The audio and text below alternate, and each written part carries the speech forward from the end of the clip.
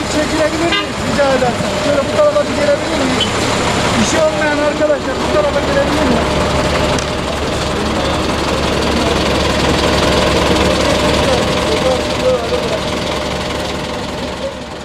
Sevgili izleyiciler şu anda Ödemiş Ovakent yolu üzerinde bulunuyoruz. Aslında TV9 İzmir ekibi olarak defalarca kez dile getirdiğimiz bir yol burası. Ve aslında bir yıl içerisinde yüzlerce onlarca canın alındığı yollardan da bir tanesi. Burası hem çok dar bir yol genişletilmesi gerekiyor. Bununla beraber özellikle kamyonların, tırların aktif olarak kullandığı bir yol olması nedeniyle sık sık kazalara sahne olan bir yol.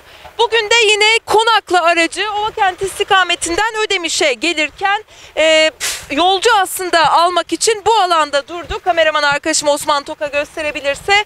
E, arkasından gelen süt kamyonu sevgili izleyiciler duramayarak ne yazık ki dolmuşa çarptı. Şu an itibariyle herhangi bir can kaybı olmadığını biliyoruz ancak araçların zaten görüntüsü ortada. Abi müşteri oluyordu. Araba durmadı geldi vurdu. Evet. Yağmurdan. Yağmurdan. Diğer bunları kazmışlar bak diyelim. Bunlar hep çamur.